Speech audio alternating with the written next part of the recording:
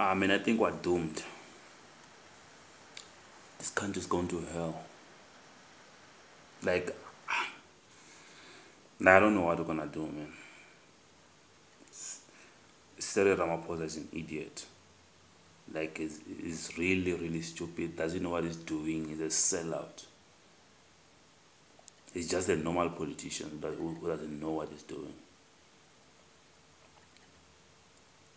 This motherfucker has 400 million dollars. 400 million dollars. But he still increased his salary. And he's gonna say, ah, I oh, know, you know what I did? Nah, I increased my salary, but I cut it in half. No, fuck, you're not, you're not supposed to get any salary. You have 400 million dollars, motherfucker. No. This guy, he goes to Saudi Arabia, giving away our state assets and all our resources, asking for a so-called investment. Just to enrich himself. He goes to his puppet masters in, in England, begging for money, begging for this. Fuck you, man. Why should we always be beggars? For how long are we going to be beggars? How long? Uh, is Africa going to remain like this forever? If we're led by people like him, obviously we're going to remain like this forever.